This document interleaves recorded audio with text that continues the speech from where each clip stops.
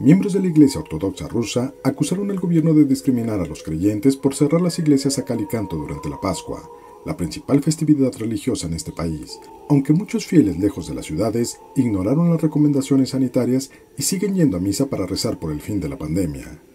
Sin embargo, iglesias como la de Santa Tatiana Mártir de Moscú han celebrado misas como la del Jueves Santo, con la única presencia del sacerdote, su ayudante, varias mujeres que integran el coro y unos pocos reporteros que han capturado la ocasión.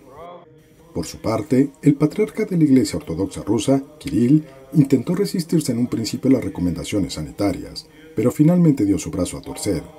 El alma se puede salvar también sin ir a la iglesia, dijo. Kirill se limitó a rezar a principios de abril por el fin de la pandemia a bordo de un lujoso Mercedes que dio la vuelta a Moscú, acompañado de una escolta policial motorizada.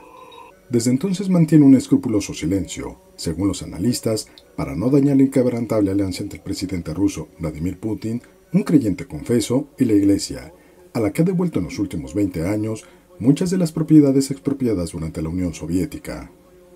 No obstante, algunos gobiernos regionales no han prohibido la asistencia a las iglesias, lo que incluye a regiones cercanas de la capital como Tula, Tver y Kaluga, en cambio, en otras regiones las autoridades han recurrido a la policía para impedir la entrada a los templos, lo que ha llevado a algunas organizaciones cercanas al patriarcado moscovita a poner el grito en el cielo. Y es que para los fieles ortodoxos es más importante comulgar que comprar el pan en la tienda de la esquina, y ven como una contradicción entre la prohibición y la reciente inclusión de la palabra Dios en la constitución rusa.